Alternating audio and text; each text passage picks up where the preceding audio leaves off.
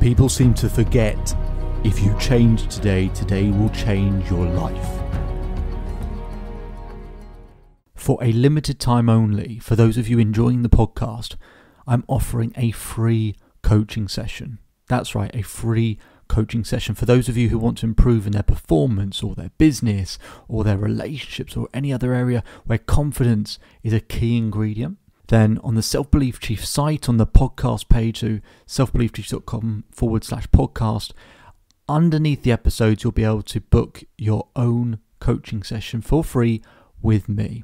Or wherever you're listening to the podcast, in the description, there'll also be a link to be able to book your session. I look forward to speaking to you soon and let's get on with the podcast.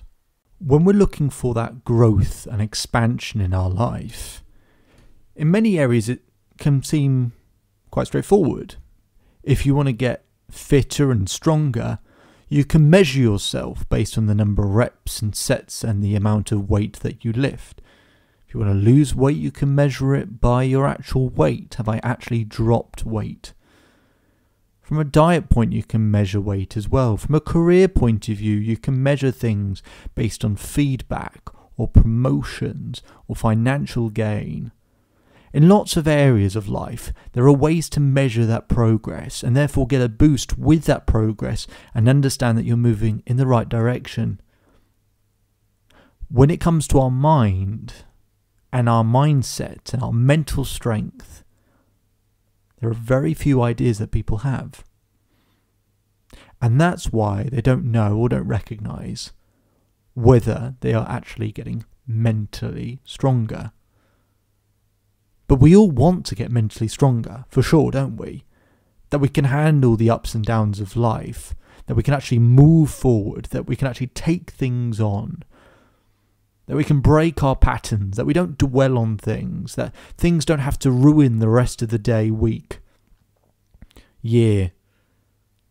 That actually we can seamlessly move between the different hurdles and obstacles in life and recognize that we have that power or strength just in the same way that when you put on muscle, you can measure that you are in fact stronger, so you know that you are stronger. You might think, oh, actually, I've got a pay rise. I am now better at my job. And in lots and lots of different areas of life, you can look for those measurable things. But how do you measure progress when it comes to mental strength? How on earth do you measure that? Well, that's what I want to talk to you today about. That rather than just going, oh, I hope I can feel better, I hope I can do better, I hope I can get mentally stronger, is actually find a way that you understand and can measure it and, and get the boost of the progress that you'll be making in terms of your mental strength. And the way we do that really is by creating a challenge. Because when we want to put on muscle, it's a challenge. When we want to lose weight, it's a challenge. When we want to progress in our career, it's a challenge. Not, we don't have to frame it as challenging, we cha- frame it as a challenge. When it's a challenge, it's a game. It's a game to win. We can get motivated and inspired by the end result we want. And we take on the challenge. Some some challenges in life we choose and some aren't. But when you choose a challenge in your life, you get excited, you get inspired, you go, yeah, come on, let's do this. We're coming up to that time of year where lots of people will be thinking of New Year's resolutions. In other words, new challenges. Now, I have to say, I hate New Year's resolutions because I always think, why don't you just do it now? Why does it have to be a New Year's resolution where on the first day of the year, which also basically sets you up to fail because then you've got Blue Monday and everything associated around it, and you're doing a challenge whilst everyone else is doing challenges who are going to fail at roughly the same point, well, it's just going to drag you down as well. Do a challenge in your own time. So, how do we challenge mental strength.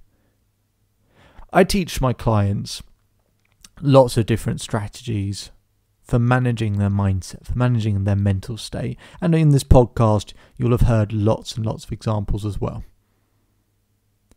But all of those strategies to actually improve our mental performance, our physical performance, to be able to cope with the demands of the day, how do we use them to actually measure are we moving in the right direction? Because You might go, yes, I can handle a moment better, but actually, is there a sense of momentum with it? Well, to change a pattern in life, to turn it into a habit, to take you know to take a, a commitment and turn it into a habit takes about seven to ten days. To take a commitment and turn it into a habit. Now, here's the other bit that people get wrong. A lot of people take on two or three commitments at once. Research shows that if you do that, you only have a 33% chance of keeping one of them.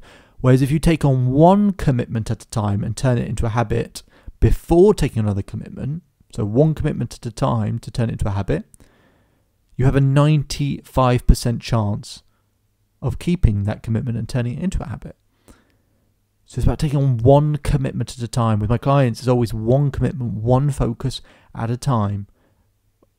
Get over that hurdle, accomplish that thing, overcome that barrier, then we move on to the next one. Because human beings are very good at that. They're terrible when you give them four or five things to do at the same time. So, here's what I want us to think. And it's actually an idea that uh, Emmet Fox came up with a very, very, very long time ago. And it's called a 10 day challenge. So, this is what I want you to do. And I really stress that you do this from today. You might want to say, you know what, I'll set myself the date for tomorrow or two days' time. But really, if you're serious about what I'm about to say, set it for today. A 10 day challenge where you don't dwell on a negative thought for more than 60 seconds. A 10 day challenge where you don't dwell on a negative thought for more than 60 seconds. And in that 60 seconds, you focus not on the problem, you focus on solutions.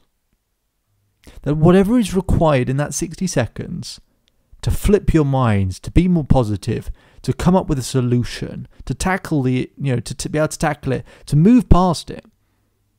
Whatever's required, that you do that in that 60 seconds. And you do that consecutively for 10 days. Because the idea of doing that forever, or adopting strategies forever, if we do it forever, there's nothing measurable. There's nothing, you know, it's too daunting. And it might cross your threshold of belief where you go, well, actually, that's impossible. And it's impossible to be up all of the time. I'm not asking you to be up all the time. I'm asking you to be up for the next 10 days. For the next 10 days of your life, you don't dwell on a negative thought for more than 60 seconds and you focus on solutions, not problems. Now, some of you might go, that sounds unbelievably easy, and some of you will go, that is impossible. How do you on earth do you do that? Well, it's a day at a time. But can you actually do that? Can you actually make it 10 days without having or dwelling on a negative thought? Then immediately you can think of solutions. And you do that by asking yourselves better questions in those 60 seconds. So, something, you know, you have a thought, something happens, you go, What can I learn from this? How can I grow from this?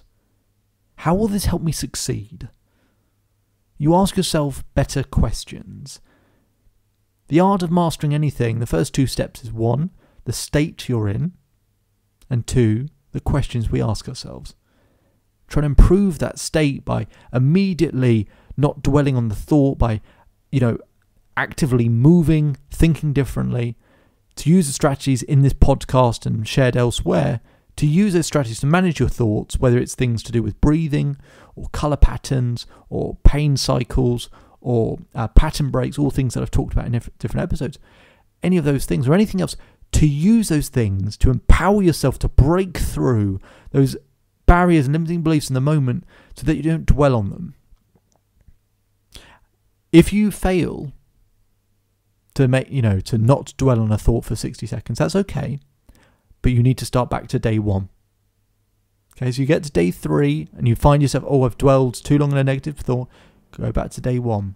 Start from day one. Can you make it 10 consecutive days without dwelling on a negative thought? Now, here's what happens. You'll do it for the 10 days, and it's a measure, it's a way to measure your mental strength and capacity, and you might fail the first one or two times, and then you get it. What happens is when you get to five, six, seven, day eight, day nine, the confidence it will build to go, oh, I can really take care of my thoughts and emotions here. I can really manage this. I'm actually a lot stronger mentally than I thought I was. Now, at the, at the end of day 10, by all means, if you want to go back to the old ways, feel free to. I won't stop you. But if you do it for 10 consecutive days, I think you might find it too addictive to give up that actually you will notice a change in your life, that you'll realize that in life it's not about the problems, it's about how long we dwell on them, how often we experience them, how much time we spend worrying. Because we worry because we think if we worry and spend more time worrying, it'll get us to take action. But actually, that's not true, is it? When we worry, it often cripples us.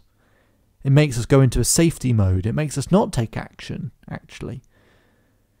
So the reason why you're worrying doesn't actually serve you for the thing you want to do, which is to take action, to change your life. So instead of worrying, it's not ignoring it, it's focusing on solutions. That you get as quickly as possible to think of what can I get learn, what can I grow, how can I succeed, what is the solution to this? and we deal with it there and then. And any time a thought comes up, we get better and better and better at dealing with it straight away. I'm not saying ignore your thoughts at all. I'm saying find solutions. Because that's what you really want is solutions. And then you can leave it to one side. I know you're tired of being strong, and maybe this year's been a very difficult year. I know you're tired of being strong but you still are. I also really believe that, like I have experienced with a lot of people,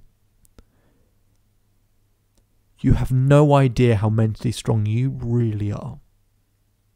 And to prove this, I want you to think of the day to day things that we struggle to deal with and we focus on those things because it stops us focusing on the things that we really do worry about, the things we really do fear. But what I find with human beings is when we do have those moments, the really, really tough moments, not the day to day problems, the really, really tough moments, human beings tend to deliver.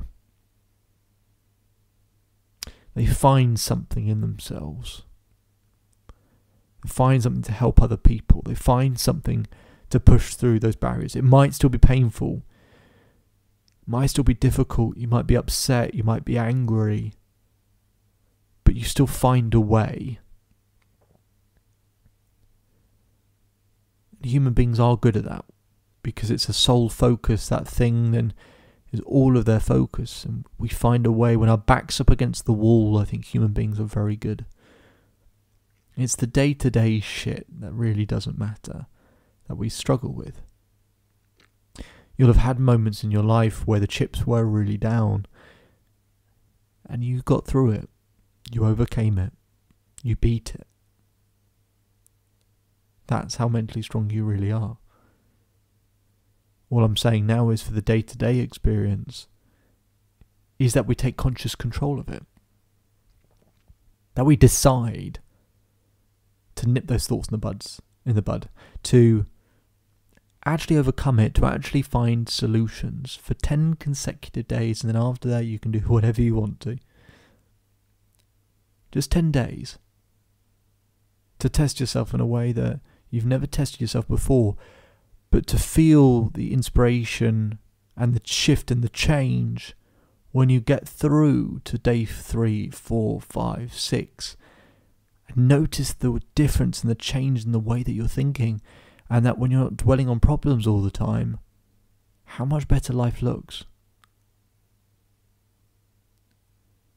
I used a saying a long time ago. Hold on to it because through the tough moments, it's a good reminder for me. I was going through a difficult moment in my life, and I, I'd gone to Seville I remember going to this cathedral and I looked up at the ceiling. And as much pain as I'd been in, I looked up at that beautiful ceiling and it made me realise something. Whatever you're going through in life, there's still beauty somewhere in the world. Find it. Find it. Whatever you're going through, there's beauty somewhere in the world. It is our job to find it. And it's our job to find it in as many moments as possible. It takes time to train to be able to do that. And we'll go through things in life which are just so difficult. I don't want to be idealistic either. I'm just saying for the next 10 days that you do find beauty in the moments by looking for solutions, asking yourself better questions, and getting better answers. Notice how your life changes. The thing is, if you manage to do those 10 days, you might find that it's not 10 days of your, of your life that has changed, it's 10 days that has changed your life. I think this challenge is absolutely worth it. My name is David Hulman. If you change today, today will change your life. So enjoy the rest of your day. Enjoy the rest of your life. And I'll speak to you on the next episode.